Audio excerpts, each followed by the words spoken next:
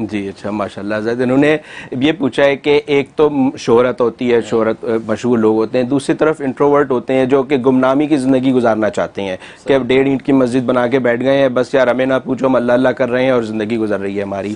क्या ये मुस्तासन है?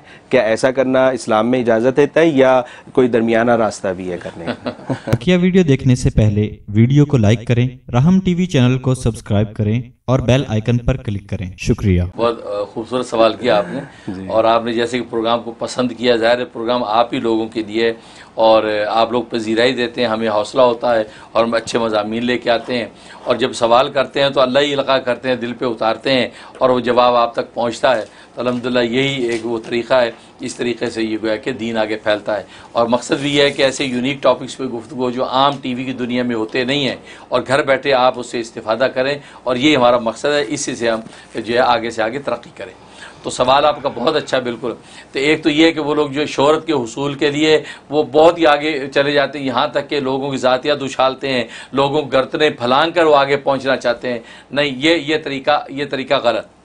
ये तरीका भी सही नहीं है कि तलब शहरत के लिए इंसान जो आउट ऑफ़ द वे जाके लोगों को वो करे। वही वाली बात है कि जैसे महमूद गजनवी महमूद गजनवी ने अयाज के बारे में लोग सवाल करते थे कि ये अयाज जो है ना, वो आदमी चापलोस है और ये आप अपने मफादात के लिए आपके साथ लगा हुआ ये आदमी अच्छा नहीं है।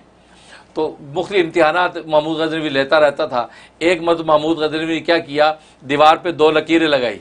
चौक से दो लकीरें लगाई, दोनों बराबर लकीरें थी। लकीरें लगाई। अब उसने एक वज़ीर को बुलाया, कहा कि आओ, इसमें से एक लकीर को बड़ा कर दो। लेकिन चौक इस्तेमाल नहीं करना। अब वो सोचे लगे कि नहीं, ये तो मुमकिन नहीं है, चौक इस्तेमाल नहीं करें तो बड़ा कैसे करेंगे? कि चौक दूसरा वज़ीर बुलाया।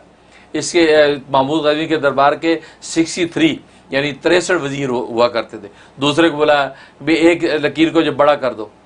तो वो आया नहीं जी, चौक के बगैर तो नहीं कर सकते। चला गया।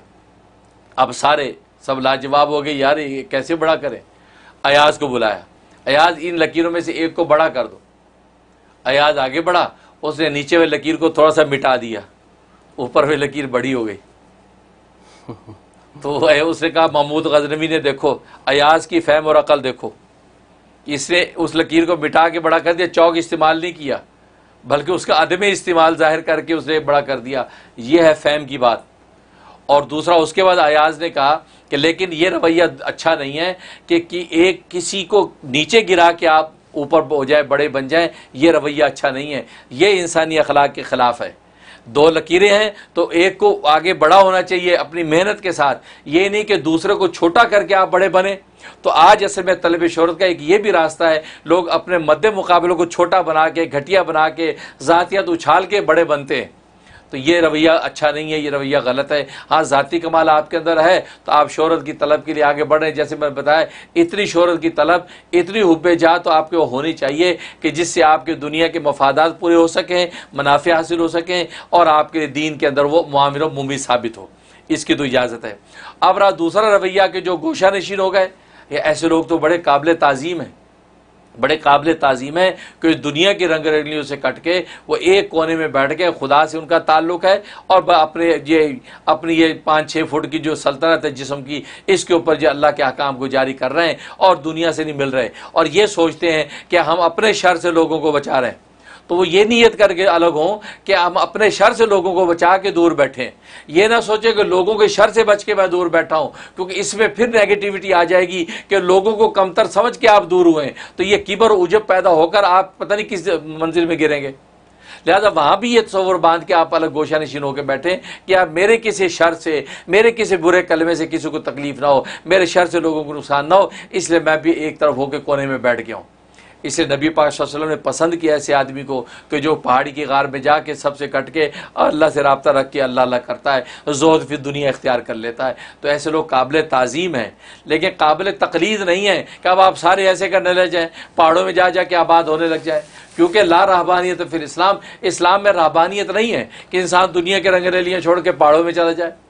हाँ और रब्बानियत फिल इस्लाम। इस्लाम में रब्बानियत है। रब्बानियत का मतलब यह है कि दुनिया के रंगरीलियों में रहना है। अमेरिका की ऊँची बिल्डिंगों में आपने रहना है। लेकिन आप सबसे ऊँचे को याद रख रखना है, जो अल्लाह सबसे ऊँचा उसके साथ ताल्लुक आपका रहना है और इसी दुनिया के बागो बहार में ज़िंदगी गुजारनी है। और वो ख्वाजा मजूब रहमतुल्लाह का शेर है ना, कि दुनिया में रहता हूँ, तलबगार नहीं हूँ। दुनिया में रहता हूँ, तलबगार नहीं हूँ। बाज़ार से गुजरा हूँ, ख़रीदार नहीं हूँ। तो बस वही है, इस दुनिया के बाज़ार हुसन में इंसान ज़िंदगी गुजारे, लेकिन उसका तलबगार ना हो, उसका ख़रीदार ना हो, तलबगार और ख़रीदार अपने अल्लाह का हो इस रब कायनात का हो, कायनात का ना हो। बस यही अल्लाह को मतलूब है। इसी दुनिया में रह के आपने मुनाफे उठाने, आप लजीज खाने खाएँ वसी दस्तरखान बिछाएँ, उमदा पोशाकें पहने, खूबसूरत जूते पहने और शाही ताज सर पर लगाएँ, लेकिन ये तस्वुर रखें, ये अता करने वाली एक ज़ात है जिसे मुझे अता किया, वरना मेरी जिसम जा इसकी अहल नहीं है। अगर जिसम की वजह से मिलता, मुझसे ज़्यादा खूबसूरत जिसमों वाले मौजूद। अगर ताकत की वजह से मिलता, मुझसे ज़्यादा ताकतवर मौजूद। अगर दौल की वजह से मिलता, मुझसे ज़्यादा दौलतमंद मौजूद। अगर तालीम की वजह से मिलता तो मुझसे ज़्यादा तालीम याफ्ता मौजूद। ये अल्लाह की लुत्फ इनात है जिसे मुझे दिया है। सुबह शाम वो अल्लाह को शुक्र करके और खुदा की मखलूक की खिदमत में लगा रहे। इस तरीके से जब ज़िंदगी गुजारेगा, यही एन इस्लाम है। बाकी गोशा नशीन में वो जो हो गए वो जो है, वो बहुत मुबारक लोग हैं और ये बहुत बड़ा जज्बा है। और इनकी कुरान करीम में अल्लाह ने तारीफ़ की है। और नबी को कहा है कि ऐसे लोगों के पास जाके बैठा करो। वसब नफ्स का माल लजीना यद ऊना रब हूँ ये ए, ए नबी आप उन लोगों के पास जाकर उन दरवेशों के पास जाके बैठा करें वहाँ टाइम पास किया करें जो दुनिया से कट के वो अल्लाह की सुबह शाम हमदो सना और तारीफ़ और ज़िक्र में लगे हुए हैं वो सबसे एक तरफ़ होकर बैठे हैं। साहब सुफ़ा की तारीफ़ कुरान ने की है कि उनके पास नबी को कहा कि आप जा जाके वहाँ बैठें। तो ये ऐसे लोग तो काबिल मुबारकबाद हैं। तो बिल्कुल ऐसा कोई कर सकता तो बहुत अच्छा है। वरना आम जो है, वो शरीयत का तरीक़ा वही जो नबियों वाला है कि नबी लोगों में जा जा के हक़ की दावत देते हैं, उनको जो अल्लाह का रास्ता बताते हैं। अगर आपको अल्लाह ने यह तोफ़ी दी, आप लोगों में रहें और लोगों की अजियतों पर सब्र करें, सब्र का अजर पाएँ और लोगों को शुक्र की तालीम दें और लोगों को दावत हक़ देते रहें तो ये तो बहुत बड़ा नबियों वाला रास्ता है कि जिसके ज़रिए से इंसान अल्लाह का और ज़्यादा कुर्ब पाता है। माशा